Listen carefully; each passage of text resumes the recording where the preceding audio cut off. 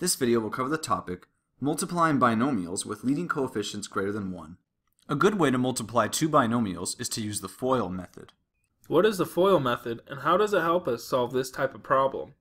FOIL stands for first, outer, inner, and last.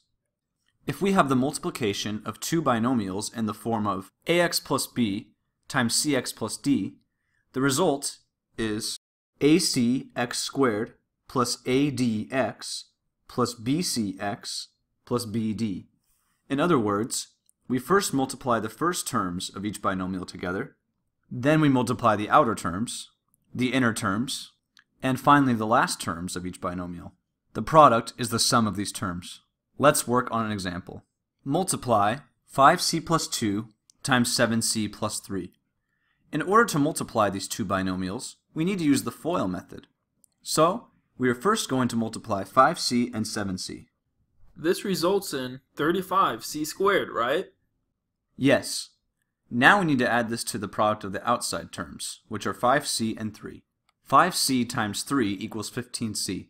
So we now have 35c squared plus 15c. Now we multiply the inside terms, 7c and 2, which results in 14c.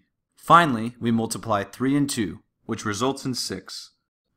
Does this mean our final answer is 35c squared plus 15c plus 14c plus 6? This is the correct answer, but we should simplify it more. By adding 15c and 14c, we simplify the answer to 35c squared plus 29c plus 6. Okay, I understand. First we multiply the first terms of each binomial.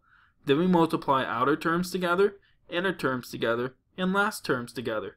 After this, we add each of these together to obtain the result. If necessary, we simplify as far as we can. Is this correct? Yes, it is. Keep up the great work.